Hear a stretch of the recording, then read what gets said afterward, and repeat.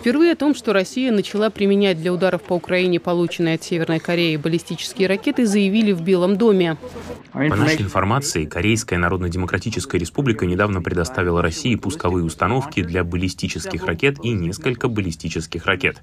30 декабря 2023 года российские войска запустили по крайней мере одну из этих северокорейских баллистических ракет по территории Украины.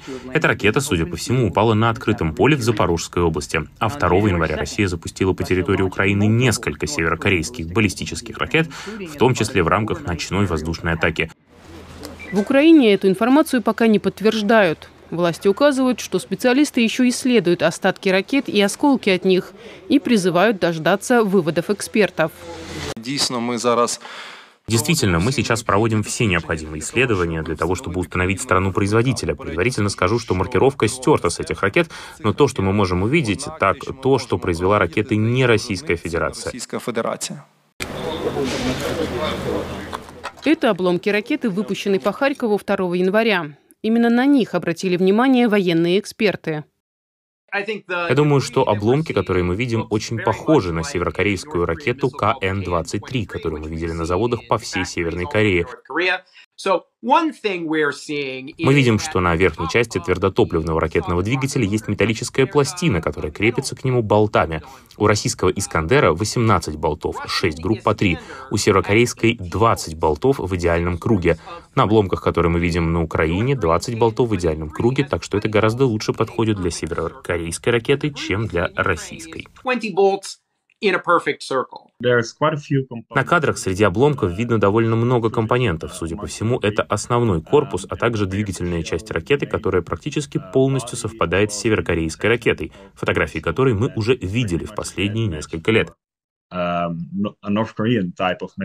и даже в мельчайших деталях, вплоть до таких компонентов, как кабельные трассы, отдельные болты и двигательная часть, мы видим, что все практически полностью совпадает с северокорейской ракетой. По данным американской разведки, министр обороны России Сергей Шойгу во время визита в Пхеньян в июле прошлого года обсуждал с северокорейскими чиновниками увеличение продаж Москве боеприпасов для войны в Украине. Это могло быть и одной из тем встречи российского президента и лидера КНДР в сентябре прошлого года.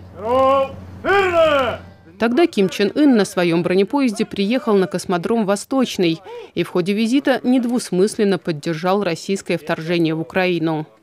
О поставках вооружений перед камерами ни Путин, ни Ким Чен Ын не говорили, но их переговоры, в том числе с глазу на глаз, продолжались несколько часов.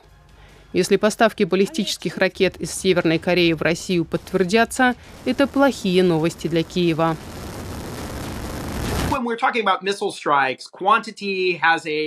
Я думаю, когда мы говорим о ракетных ударах, их количество дает преимущество само по себе.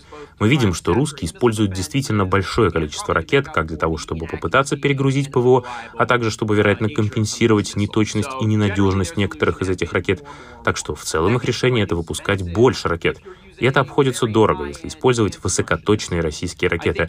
С помощью более дешевых ракет Москва сможет поддерживать тот же уровень насилия, не тратя столько денег.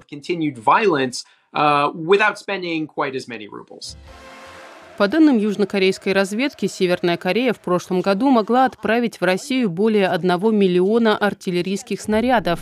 Об этом сообщало агентство Bloomberg. О том, что КНДР с лета прошлого года поставляет России снаряды, а также ракеты для градов, заявлял и глава украинской разведки.